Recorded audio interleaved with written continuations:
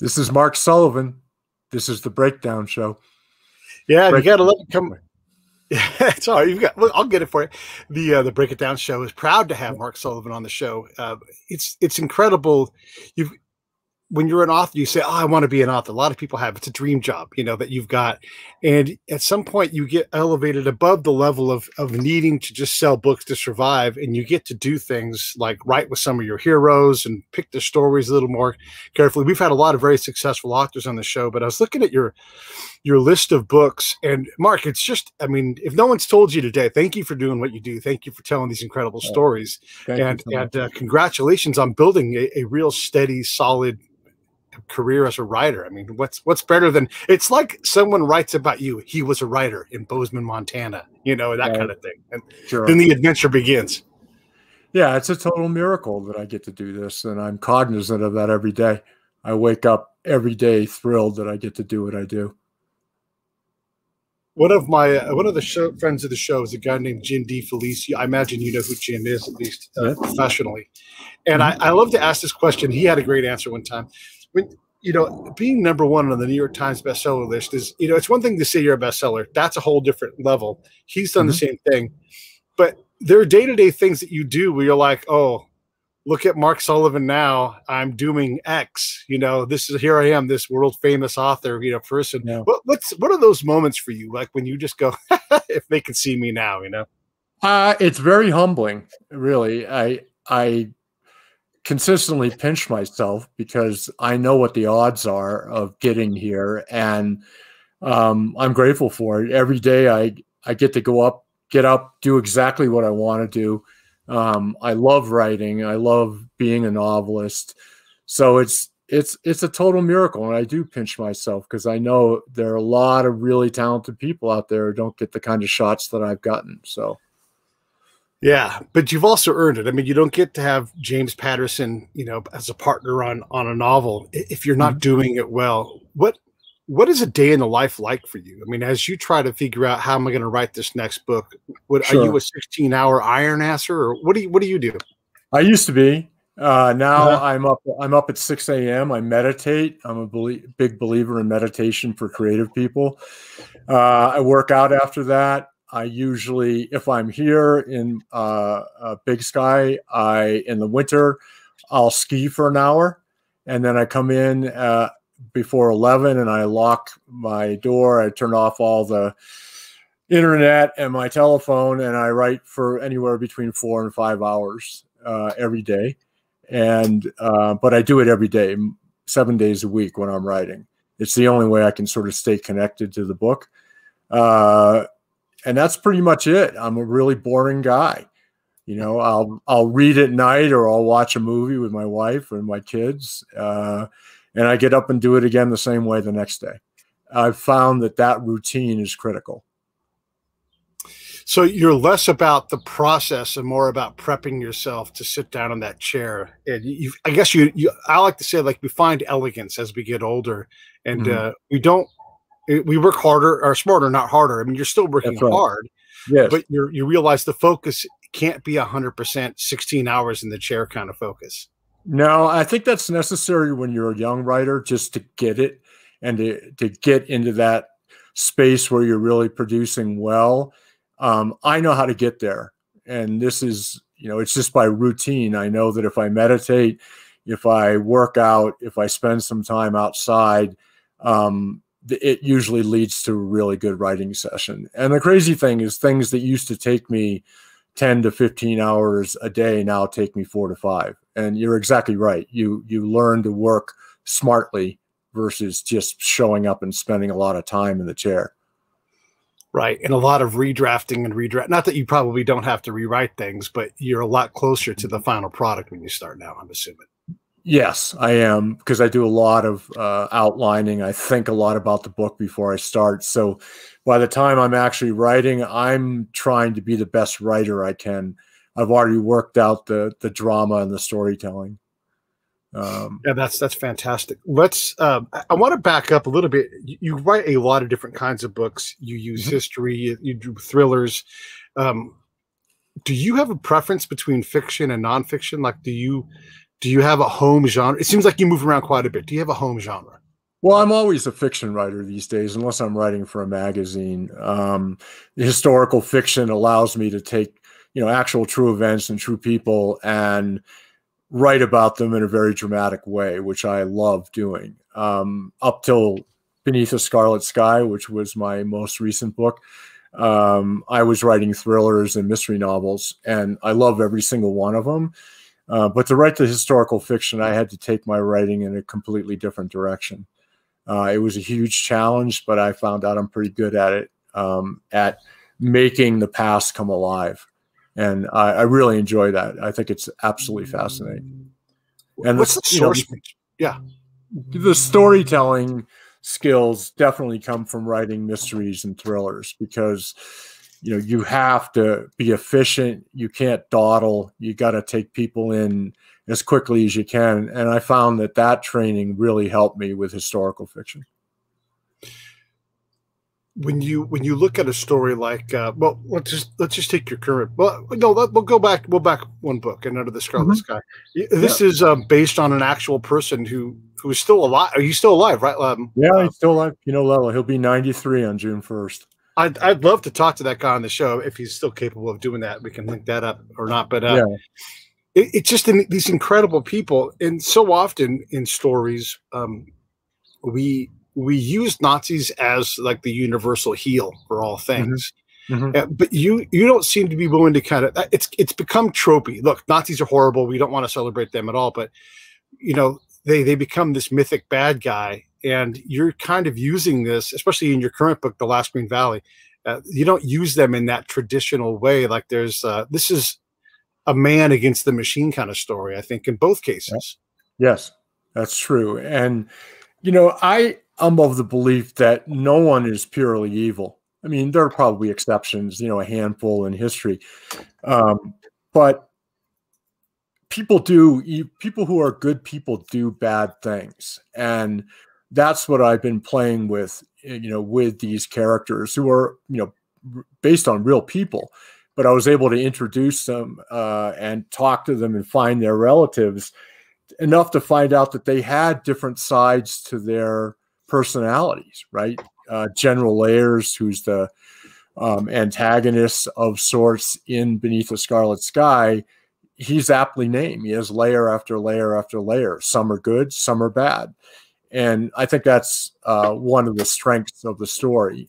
Um, you know, the same thing in the last Green Valley. The Nazis are complicated.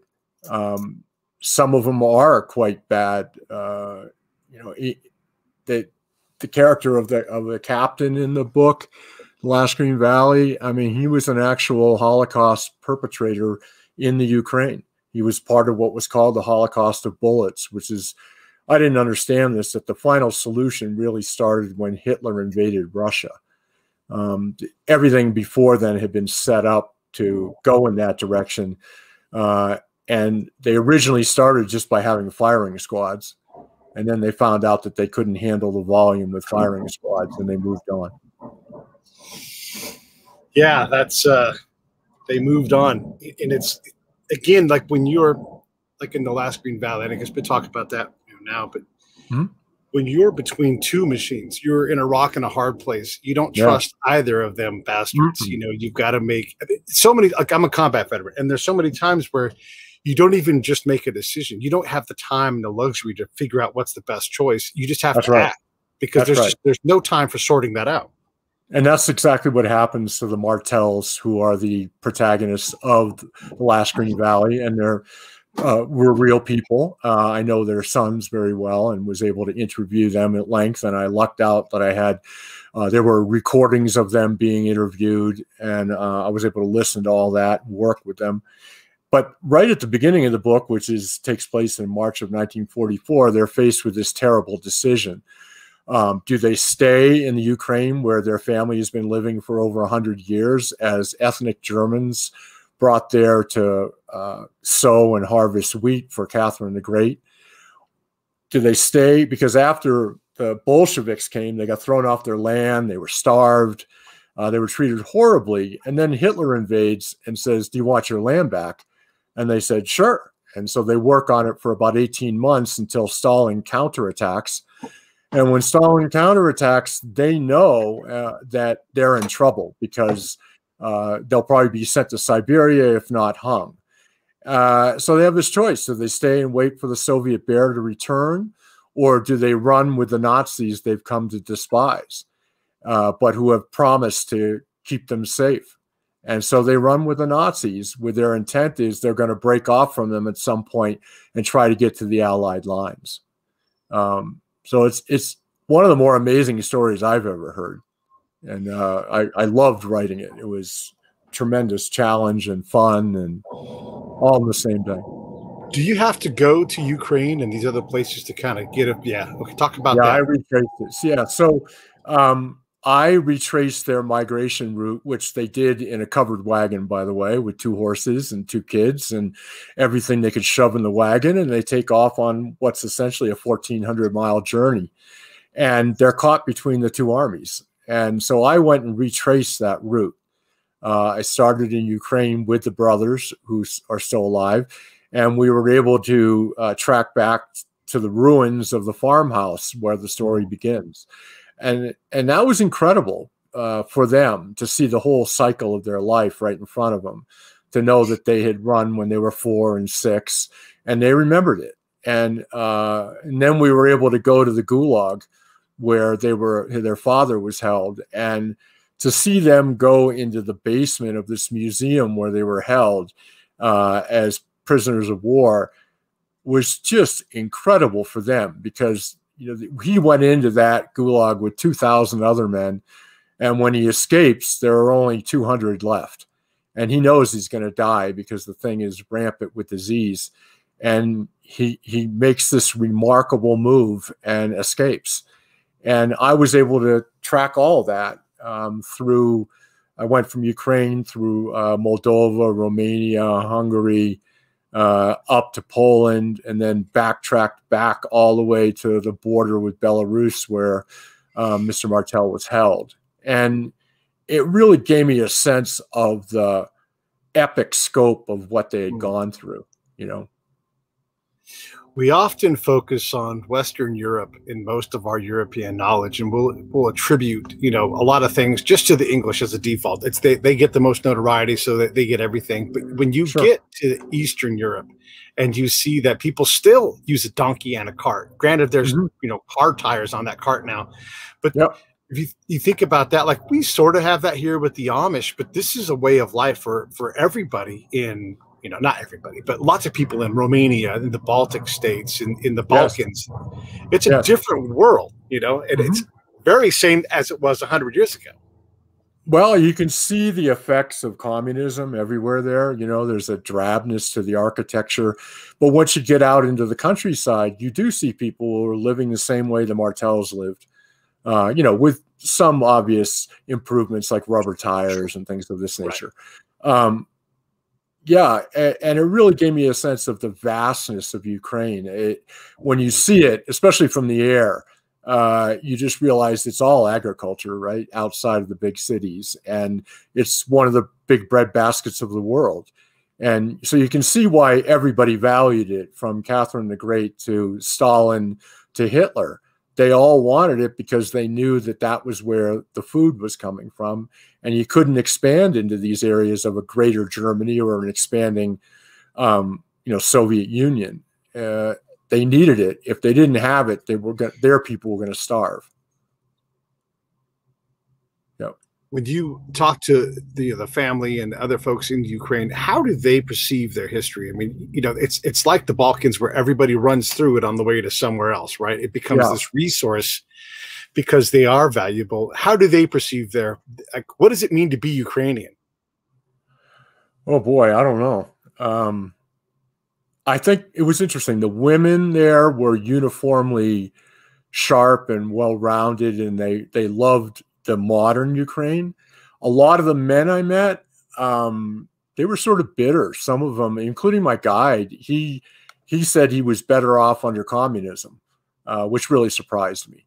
Uh, you know that you have to remember also that there was a massive brain drain out of that part of the uh, of the world because Stalin and Lenin they basically if you oppose them they shipped you to a to a gulag or they killed you and right. um, like Mrs. Martel's father was taken when she was 12 never heard from again vanished Mr. Martel's father was also sent to Siberia and he did manage to come back but he was a broken person uh, so it it it's a very conflicted place, is what I guess I'm saying.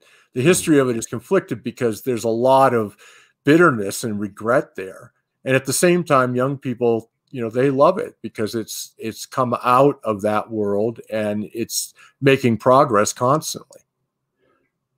Yeah, I mean, you think about the Martels having to make that choice. you're always stuck between the Russians and the Germans, at least in, from their point of view, and and that's that's all there is to it. Yeah. And so ultimately, you know, you have to leave your homeland, and you may never. It's war. You may never come back. You you may not want to come back, but you right. have to leave everything. And so I guess the allies are the best bet, but but are the allies as benevolent as as we want them to be, as as you know the main you know tent pole in the uh, allied tent, or well, is this like yeah. better than nothing? Yeah, well, I think it's a little bit of better than nothing because remember the Soviets were part of the Allied forces, and there was a pinch, and but they knew what life was like under communism, and they wanted out, and they were running, so they were going to take any possible way to get out of the way of the Soviet bear, and they ran with the wolves, and you know it's it's like anything from that period when you start digging into it it gets really complicated it gets morally murky almost immediately and i think to their great credit is they realized that it was their only chance. Mm. And so they basically cut all ties to their land and they ran. Um, what's amazing to me, obviously, is how they can go through this incredibly brutal journey and then be separated and you know the husband and wife separated and then go on another brutal journey each of them alone. Mom with the two boys and and dad in the gulag that he has to escape from. And you know the fact that he makes it all the way you know to the british sector only to find out that she's on the wrong side of the line she's in the soviet sector and so she has to escape with the boys and when i heard this story i was just dumbfounded because the martels are very successful people they, you know once they got to the united states and once they got to bozeman montana where i live um, like literally everything they touched turned to gold because and I, it I attribute it directly to how hard they worked. Mm. I hmm. mean, in their early life, they worked incredibly hard just to survive, right? And they did this all the time. They get to the United States where there's opportunity, and they're working just as hard, right? But all of a sudden, the rewards of their hard efforts start to come. Yeah. And I think it's an incredibly inspiring story. And it's an amazingly American story right? This is a story of people who America brought in, who basically accepted them and gave them a new life as refugees. And boy, what they did once once America gave them the chance was just remarkable. How exceptional are the Martels from the World War II era? I mean, are there thousands of families like this? I mean, I know they're not singular. There's no way. No, no, there are thousands and thousands, thousands just like them. You know, mm-hmm. people who are ethnic Germans uh, who lived in Eastern Europe, who they were expulsed by all the countries, including the Soviet Union, including Poland, all these places expulsed them. So, like at one point, about a year after the war ends, roughly 20, not, not even a year, like four months after the war ends, 20 million Germans start walking to Germany and Germany couldn't keep them. There, you know, there was no room for them. Some of them settled in Germany, but a lot of them went to Canada. You went to the United States, went to South America. But yeah, that you know, it's amazing how many people were uprooted and moved around because of World War II, and you know, that's what really fascinated me about the Martel story. Is is I was less interested in telling a war story than I was telling a story about a family trying to get out of the way of a war yeah. Right? They they had no stake in the thing. They were just trying to get out of the way. And um, I found that fascinating, you know, and I was able to depict that thing uh, that way in a meaningful way, I think. Uh, when you did this, so we had a guy named Lou Bashesky on, and his grandpa uh, rode in a tank from Normandy all the way until the end. Like he just kept going, and their tank survived. That was pretty remarkable. And so that he is. went out on Lou, his grandson, went on his bicycle and followed that path through Europe. And his grandpa remembered a story where late in the night they're in the field and a cow steps on a mine, kaboom, and the cow blows up. And he's like, it wow. was this crazy thing. His cow dies. And so he goes through and he finds a lady by happenstance. Actually, she finds him. And she's like, Well, one thing I remember is that our cow got blown up in this field. And he has this impossible confluence of things where yeah. you're like, Oh my God, they remember the same moment. It's his mm-hmm. grandpa come back to life. Mm-hmm. Did you have anything like that where you're like, How in the world? You know? Yeah. Yeah, I did. Um, I met this guy in Romania right on the border with Moldova. And he, at the time, he was like 96. He's 100 now. He's still alive. Wow. And yeah, I mean, amazing. He was the beekeeper. He he I mean, had a heavy influence on the book because he was one of the more enlightened people I've ever met in my life. He had just this extraordinary connection and with me immediately, and I could feel it. And he started telling me about, you know, he was a Romanian soldier and he was on the border when the ethnic Germans came through. He remembered it, and and then you know the the, the Romanian government flipped sides, right? They they were uh, uh, uh, with the Germans against the Soviets, and yet they turn, and now all of a sudden they're with the Soviets because he can see the writing on the wall. So he's told to surrender, and when he goes to surrender, they take him and throw him in a prison camp and yeah. uh, he spends four and a half years in a prison camp escapes three times and finally gets sent to a maximum security camp and he uh, uh, he manages to come out with this dream that he holds on to which is of being a beekeeper that's what his obsession was he was fascinated by bees he was convinced that bees would give him a long life which they did uh, you know he's over 100 years old and he's still sharp which was just incredible. So there was that, and and that was fortuitous because before Mr. Martel goes into the gulag, he uh, he he's the kind of guy who doesn't want to be noticed, right? He's grown up under the um, uh, communist regime, and he knows that if you if you stick out or if you excel at something, you're probably going to get sent away. And so he becomes the kind of guy who doesn't want to be noticed and very, very little ambition other than surviving. But he goes to the camp and he escapes. And when he escapes, he's a different person, right? He, he sees opportunity everywhere. He takes risks constantly. And this carries through not only the long escape, you know, because he had to go all the way back to Germany, right? He got sent back farther than he started. And he has to make it all the way back, which he does and yeah. from that point forward, he's a total entrepreneur. And the boys couldn't explain it. And they said, You're going to have to explain it. So the way I explained it is he meets somebody very much like, you know, Corporal Georgi. And uh, that man changes his life. When you have this much improbable survival, they have to be strong religious people. Like, there's no way that they don't think the hand of God was on them all the time. I mean, oh, it, absolutely, you're, you're, bound to it, right? Yeah, yeah. There are people of profound faith and deep faith, faith that was tested, right, uh, all the time uh, during this thing. So, at one point, he's lost his faith, and at another point, she's losing her faith. But they managed to cling to the last shreds of it, and it turns out, and because of that, they became, you know, incredibly devout. She, especially Adele, especially Adeline, especially she um, was a profoundly faithful Lutheran. Uh, she went to church all hmm. the time in Bozeman, and um, she basically said, "Without God, they never would have made it." You think about that today, you know, and we're so godless, and there's, you know, we're we're so in charge of our destiny. I don't know that we. Um, we have the moments that you know have some fear of God, to have some spiritual responsibility. It just left us to mm-hmm. our own devices to leave me alone. And and I don't know that the Martels would recognize that. Like if they were young right now, you know, and you transported them in a time machine, I wonder how they would deal with all of that, or would they just keep working and not worry about it? I don't know.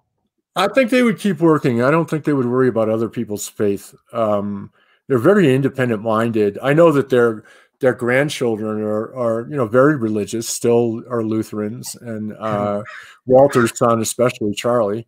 Um, so it was passed down, and they all the grandkids remember their grandparents uh, as being incredibly faithful people.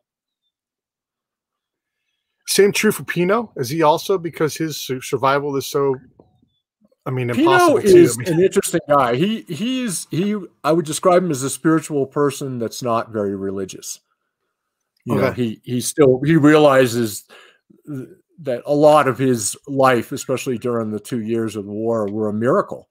Um, some of it was brutal miracle, but it was a miracle nonetheless. And you know, he taught me a lot about how we deal with tragedy as as human beings. Everybody has to go through it, and grief and it was always that you get through it by recognizing that we, the only thing that happens is change.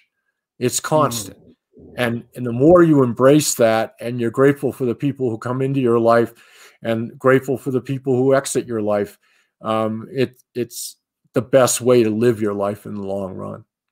And that, that's what I learned from him. He changed my life profoundly. And the Martel story did too, because I I saw again and again and again in their story that they never gave up. They just never gave up. And that alone will get you a long way in life. And uh, I, all the lessons that I got from Pino Lella were certainly reinforced by the Martel story. How does Pino reckon with the fact that he works for one of the top Nazis? How does does that I mean, he's not a Nazi, right? He's there not by choice. No. He's there because of war. But how does he deal with that? Well, he he suffers with it, right? He he almost loses his best friend because he thinks he's gone Nazi. He's doing it because his parents were convinced he was going to be sent to the Russian front and he was going to die, and they didn't want him to die for the Germans. Uh, so they had him uh, volunteer for an organization, the organization Todt, which is the least understood part of the Nazi war machine. It was like a combination of uh, the Quartermaster's Corps and the Army Corps of Engineers. They built stuff, uh, they commandeered stuff. Uh, they ran the factories. They were in charge of war production, is what their title was. And, you know, he sort of blunders into it. His parents make him volunteer because they know he's going to be put in a non combat role. And then through a series of remarkable circumstances, he becomes this general's driver. Now, Pino is an amazing driver. I can attest to that myself, having driven with him. Uh, scared the bejesus out of me within 20 minutes of meeting him, uh, driving through the streets of uh, northern Italy in his car. Uh, and that became, you know, crucial because, you know, if you've read the book, uh, he's an amazing driver, and I can attest that he is an amazing driver. So he gets the job with the general by a fluke. And all of a sudden, he's going with this guy everywhere, seeing what the Germans are building and able to pass that information on to uh, um, the the the partisans through his uncle and the radio that they had, and it got out to the Allies. So he was very divided on working for the general. Uh, he can tell you as many stories about the general order he was bad as when he was good. So he's he it depends on the day when I would talk to yeah. him. Was he a good guy? Was he a bad guy? And the truth is yeah. he was both. You know? Yeah, like everybody, right? We had um the, the, one of the moms from the Fresh Prince of Bel Air was on the show. Her name's Vivian, and I mean not that's her um, show name, but uh, Daphne's her real name. She was saying like, you know, Bill Cosby is my friend. You know, he's done so much for the black community, especially in Hollywood and in, around the nation. You know, however, he's also done these horrible things. But mm-hmm. you know, you have to balance this good and evil, and it, it's never just boom. Like you said earlier, it's never just one thing. It's never just uh, the same thing. thing. goes true for Saddam Hussein. We had uh, a guy named Kelly Kelly Haylier, and he was the the personal jailer for Saddam Hussein. You know, going through the trial, and his job from the American side, from an international side, was to keep him calm, go through the process without a whole lot of drama and drawing attention to himself. So keep him chilled out. Let's get this over with, you know? Right. Um, and he's like, yeah, Saddam was my friend. I cried when he mm-hmm. died. I also know what kind of a monster he was, you know? And so you right. have these, this conflicting thing because we want someone to be just universally bad, you know. But you have yeah. a guy like Leyers, and it depends on the day, depends on the moment. Depends on the moment. I mean, you know, ultimately, people have asked me, what do I think motivated Leyers? And I think it was undoubtedly Leyers.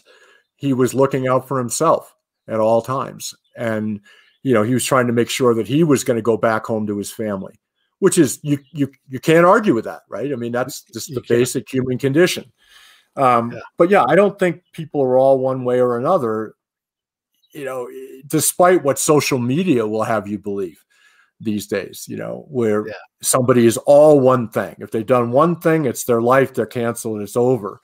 And, you know, first of all, our legal system doesn't work that way. And neither should, you know, the court of public opinion, in my belief. Yeah, when we deal in, in doubt, reasonable doubt, we don't deal in, in you know hard truths hardly ever. Those things typically don't go to trial. You know, if you know, right. you know. Yeah. The, the, the thing with Leyers is he survives and gets through Nuremberg and all that stuff too, right? He doesn't even get to Nuremberg. He's jailed and he's waiting trial. And then because of a number of societal and, and global factors, uh, largely it had to do with the fact that people, the historians believe that people were just sick of the war by the time the, the two years of the Nuremberg trials were going on. And when they were getting ready to do the Italian trials, you know, there was a number of other things because Italy was starting to trend communist. Uh, and people believed that if they uh, put these things on trials, it would only strengthen the communist hands. Were there trials in Italy? Yeah, there were a few, but not what there should have been because there were atrocities that went on all over Italy during the Nazi occupation. Did Pino have any interaction with uh, General Leyers after the war? No, he had no idea what happened to him after that final scene on the Brenner Pass. I went and found his granddaughter or his daughter and was able to talk to her um, briefly because she was very ill when I talked to her. But I was able to talk to his aide and to his minister, and they were able to give me a lot of uh, interesting information about him. He was uh, very much involved in his town and contributed to it. He had an estate. No one really knew where all the money came from that he used to restore it. His wife had inherited it, but that's they lived there, and he ends up building a church in the town. And there are all sorts of things about him that, again, are incredibly positive. And yet, you know, he did run a slave army in Italy. There's no doubt about it. So, you know, how do you judge those two things? And one of the ways he said is, you know, and I got this from either the aide or the minister, I can't remember, is that, you know, he believed in being the man behind the scenes. He did not want to be out front. He wanted to be pulling the levers of power without, you know, being out front because being out front like that gets you killed. And he didn't want that. Yeah. And the same thing applies uh, you know, standard Nazi caveat applies here too, but the same thing applies for a guy like uh, Leyers is that he is a man in a situation. You know, the war starts and he's high enough ranked that, you know, your opportunity to leave is very limited. And then just because you leave doesn't mean that you survive the, the, the walk across the lines. And then also when you interact yeah. with the Americans, you know, you're as likely to get shot as, as, you know, surrendered and and safely transition. I mean, you just you don't know, and so you're trying to decide your best bet. It doesn't forgive the atrocity, but like everybody else, they're all trying to get through the next 20 minutes. I mean, I've been to combat. There's people that are like every day I was worried mm-hmm. that I was going to die. Every moment, you know, I was right. looking for something that was coming so I could react to it. Right. That's true for everybody in those situations. Sure. Sure. I mean, you know, at near the end of the war, I mean, he's going to Switzerland all the time. We don't know who he was meeting with. We know that, um, you know, from Pino's perspective, he was smuggling gold uh, into Switzerland. Um, his bank accounts were frozen in the immediate post-war, but then unfrozen about three hour, three years later, which allowed him access to the money, um, which we have no idea how it got there. Uh, um, you know, Pino will tell you how he got there, but you know, do we have exact information on how it was there? No. Um, but yeah, he's a super complicated character and certainly the most challenging character I've ever had to write. Uh, just because I wanted to give you a broad view of him. Uh, there were other things about him that didn't make it into the book because at a certain point the book was like 850 pages long, and you know it it it came to the point where if Pino wasn't there, it didn't go in the book. Right. So there's evidence that that Leyers helped uh, uh, a musician in Vienna, uh, in um, not Vienna, in uh, Venice, uh, who was Jewish. He helped him, you know, get to safety. Um, there's some evidence that he was involved in prison swaps. Uh, that he was told to kill partisans, he didn't do it. Instead, swapped them with the, his so he could get back his own prisoners. Mm. Um, but again, Pino wasn't there, so it, it, ended up on the cutting room floor. What about things that don't make it into the last Green Valley? Are there things like that as well? Uh, well, I I had to truncate certain things, right? Because when they, to my mind, the real book ends when they're reunited, and that everything after that is just explaining what happened to them after their great journey. So I'm not, I didn't go into the blow by blow of what they had to go through to get into America, you know, right? Because they had to have sponsors and, and to be willing to bring them and put them to work. And it's a little bit in there, but I didn't go into the nuance of it. Um, so it's truncated toward the end. So you're getting a sense of, you know, what happened to them in the long flow of their life afterwards. Uh, so that kind of some of that stuff ended up on the floor, certainly when you're using fiction to help the story along, I mean, you're doing so much work on the historical side, but you say based on and historical novel. This indicates that you're using a little bit of license to to make the story, you know, even sure. better. But sure. how do, how do you sprinkle that in? So the first thing I have to do is recognize that, like with with Beneath the Scarlet Sky, and similarly uh, with the Last Green Valley, how are you going to recreate conversations from 60 and 70 years ago? You know, you're right. just not. Um, so that has to be fictional. You know what the intent of the conversation was. So that's fictional. Um, you know, you I, I tend to cut out the slack parts, which are part of any life, and bring it to, to the head. So, you know, you're seeing the the Martels at their moments of greatest challenge in that book. Um, there are times where you see them at family life, etc. But the the fact of the matter is that, that their life was so intense during that time. Um, you have to write in a way that gives the reader an incredibly strong sense of how that must have felt. My goal when I write historical fiction is to put the reader right on the shoulders of the main characters and to let them experience what they experienced uh, on the page right? They're they're getting it they're getting the story and they're feeling the emotions that these people went through and the incredible trials that they went through right? And that's what my goal is always is to try to show you people who lived a story that is inherently inspirational right? Moving perhaps healing and perhaps transformational to the reader. And that's what I was after. You know, because I'll give you an example. After um, I wrote Beneath the Scarlet Sky and it was published, and you know, I was blessed to have it become a runaway bestseller. People said, you know, you'll never find another story like that. And I was yeah. like, no, I actually think I will, you know. And uh, and then sure enough, the stories started coming out of the woodwork all people writing me like write about this write about my grandmother write about my great uncle he did this and and they were all fascinating you know but i realized i was going to have to have a filter. What was i looking for? And i went back and really thought about beneath the scarlet sky and i said the reason it has impacted so many people is that the story is inherently moving.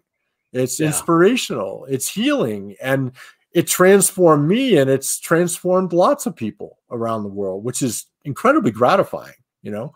Um, so I looked for that kind of story. That was the filter moving, inspirational, healing, transformational um, to the reader.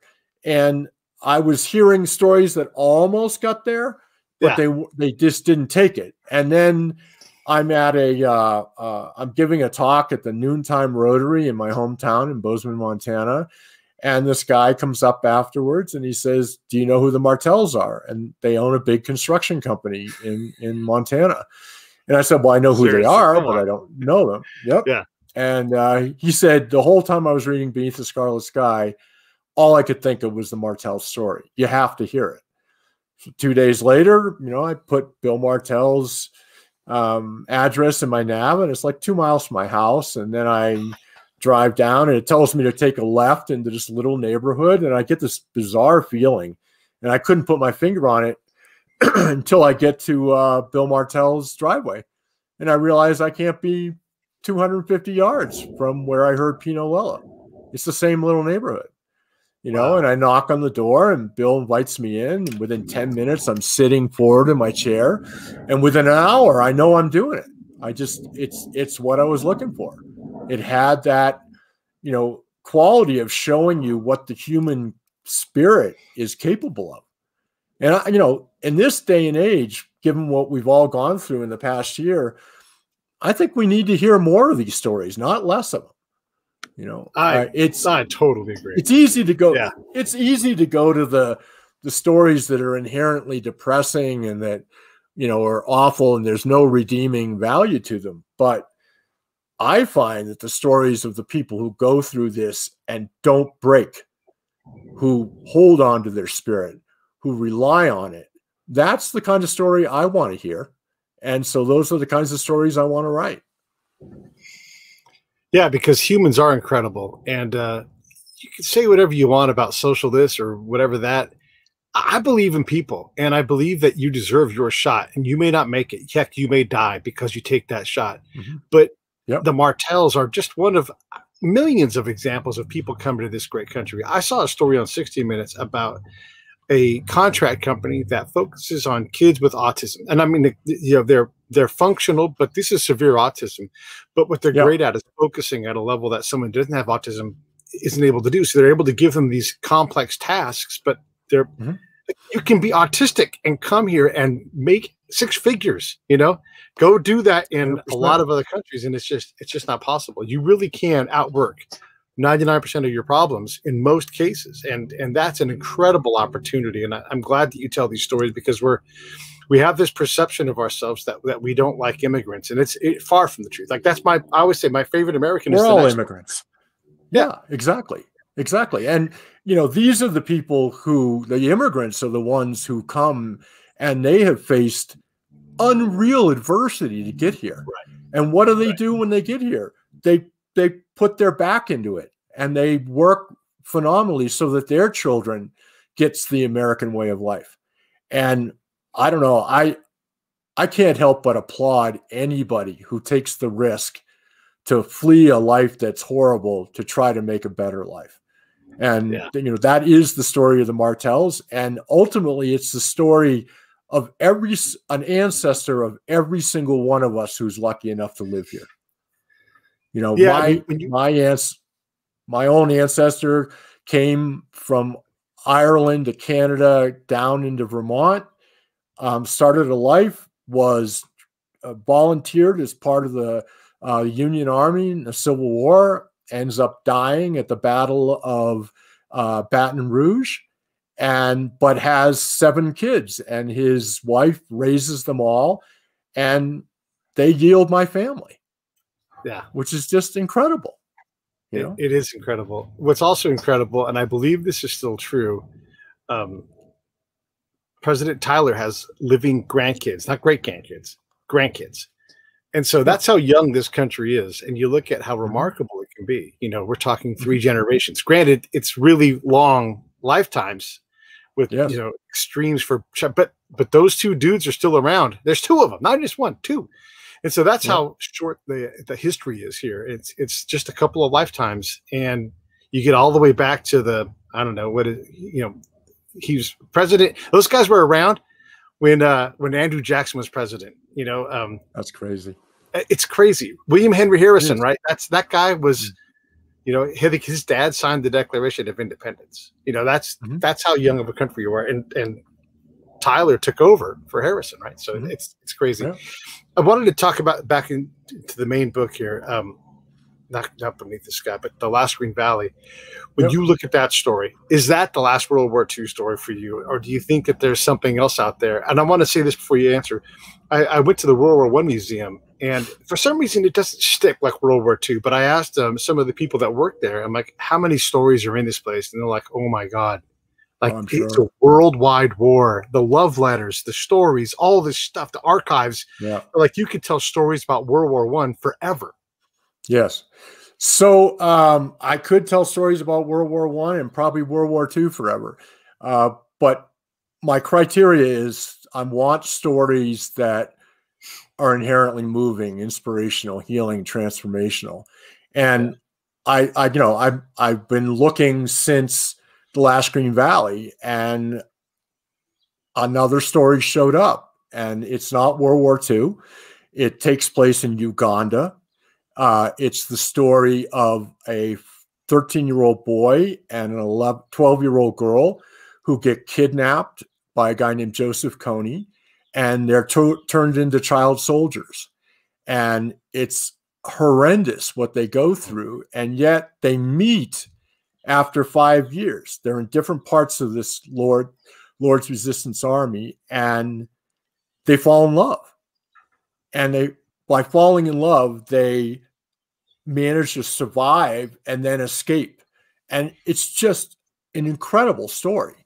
And it was brought to me by a former uh, commander of SEAL Team Six, who is a friend of my son's. And he said, I've got a story for you. And as soon as I heard it, you know, I was like, okay, this is, it meets all the criteria. I've never heard a story like it. And I'm going to go do it. And um, so I'm going to Uganda in about six weeks to spend a month with them. Um, they're still alive, and of course, and uh, I can't wait. I think it's going to be a tremendous story. we we uh, we have such a small bit of knowledge about boy soldiers and what it's like to live in Africa. You know, mm-hmm. I, I, know people from you know different special forces elements that have gone there and dealt with that, and they're like, mm-hmm. they're me. You know, they're they parents were both dead. They were left to their own devices. The military came along and said, "Here's how we're going to do this, and this is how they survive, and they become something." You know. Yes. And uh, yes. it's easy to swap uniforms, and all of a sudden you're them. It's that understanding, yep. and that's the thing I learned in combat is like people. You have to accept people for where they are and how they got there, because you, you just can't mm-hmm. put you know your own morals and, and norms on them because it's it's not fair to them and it wouldn't be fair fair for them to do it to you, especially if you're trying to change what they're doing. You know, you have to understand. Oh yeah, yeah. Well, I mean, uh, our friend, the SEAL team commander, he told me that these kids were trained harder than any SEAL. Yeah. He said, I don't think I could have done it, what they went through at their age. And, you know, what what they had to do to survive, because of course they're told immediately that their parents are dead yeah. which was not true in this situation. It was not true. Some of them were. Some of them were killed by the, you know, the, the armies and the kidnappers. But um, Florence and uh, Anthony were not dead. They didn't know this for years. Uh, they were, you know, they had convinced them that their parents were dead. Um, and yet, the, the amazing thing about them is they managed to hold on to their humanity the entire time. Yeah. They don't turn into zombies, and and a lot of it is by faith you know they're catholics uh, both of them and um, they managed to hold on to their faith and then when they met each other and fell in love that became their strength and that became the thing that gets them out is by basically becoming more human not less. That's how they yeah, survive. That's that's remarkable. And you're right the um you know every seal i think i've talked to said they got through BUD/S because they were willing to die to do it. And so if, yep. if they think what these other African soldiers are doing is similar, then they're all willing to to live to do it. Like mm-hmm. this is how they mm-hmm. live, and yep. it doesn't matter what you throw at them, and they're either going to die or not, and you lose you lose control of that, and you just you just mm-hmm. work, and you're not yep. you're not out there bloodlusting, at least not initially. You know, you might get there, but that's mm-hmm. that's a different story. I, I love it. I yep. want to take John Turz's question and throw this at you. Mark, want, uh, John wants to know if Mark has any advice or suggestion for potential writers? I mean, you're so far up Rider Mountain it's so successful. How do you get up the lower part of the, the foothills of the mountains? Uh, the first thing is to make it your um, craft that you practice every day.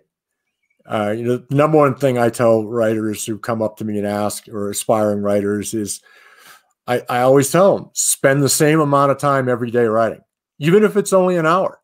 Do it show up every day. And that alone will get you a long ways. Mm. The other thing I tell them to do is study the books you love. Mm. Read them once. If you find out you loved them, go back and read it again, but dissect it. Ask yourself how the writer told the story and really study it and then learn from that. And then read another one that you love, but read it to dissect it. Um, very few people take this advice. Very few. Um, the people I know who have taken it are now going to be published writers, including my oldest son. He actually did it. And um, the other thing is do it the same time of day, write at the same time of day every day, and write in the same place as much as you can. And make that place its own place, isolated. You know, I, I know people who write in closets because they need the isolation. Yeah. Um, and it doesn't seem to matter if you're a novelist or a joke writer or a comedian or whatever. Yeah. It's all the same. Uh, there's a great interview with um, Jerry Seinfeld, and he talks about, they said, What's the number one reason you were successful? He goes, I write every day. Yeah. That's what he yeah. does. And he does it at the same time, you know, and he meditates because, you know, being by yourself, writing alone is not good for your mental health. So meditate to get, you know, the boogeyman out of there yeah. and go to work. Same time, same place, every day when you're writing. Yeah. You know? yeah. By all means, take time off. But that's that's it. You know, that's the number one piece of advice I can give you. So if you want to work as a writer, work as a writer. Like that's correct. It. No, just get do it there and get after it.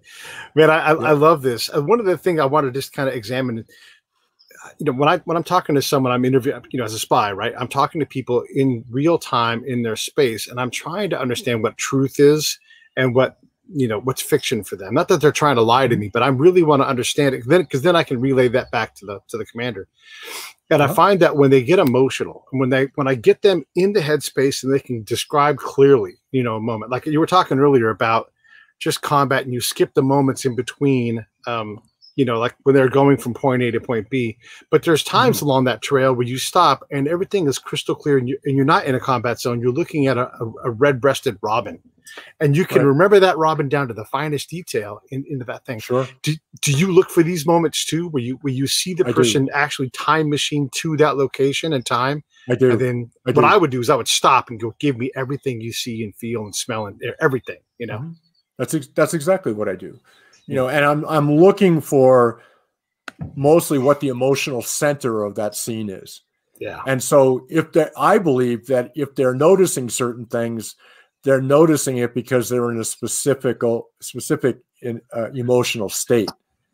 And so you can write about it as a reflection of that state right? So if yeah. if if she sees a, a beautiful scene um, she's seeing it almost as uh, there's situations in the book where it's it's like it's an escape right mm. she hmm. can see the beauty in something and it's escape from the terrible ordeal they're going through but that is what humans are for we're constantly looking for it if it's you know if we're looking for it and sometimes you're just taken by a, thing there's a there's a a scene in the book that i love where she watches this leaf just kind of tumbling along the ground. And it becomes like a metaphor for their entire existence that they're they're getting blown around by history here and yet yeah. they have their dreams and they still manage to get all the way to the end well it's just remarkable everybody should get the last green valley and also don't forget to not get uh, also don't skip on uh, Beneath a Scarlet Sky. These are both incredible, incredible stories. When do you when do you think you'll have the uh, the African story ready to go? Uh, it's due next year. Oh, okay. May, so it'll probably be published two years from right now. Okay. Okay. Well, I'd love to have mm-hmm. you back on to talk about that. It sounds like such a fascinating book, and uh, everybody should definitely yeah. check out. Look, anything that Mark does. I mean, he's incredible. But these these two books that we've profiled here today, I think, are just incredible. And I just it, thanks you for writing them. Thank you for telling these stories and giving us some humanity, and also showing us, you know, that if you've been through something like World War II, coming to America and working hard on your dream, that's cake. You know, that's cake. so cake. Life here is cake. Yeah. All right, hang on, stand by. Hey, thanks for watching the show. I really appreciate. Hey, thanks for watching the show. I really appreciate it. Right here, you can subscribe. Please do that. It makes the show grow. Hit that notification bell so you know which incredible guest is coming up next. Down below is the PayPal link. You can put a small subscription in. That is an enormous help. All that money goes right back into the show. And then right up over here are the next episodes you should listen to, curated by yours truly. Thank you so much.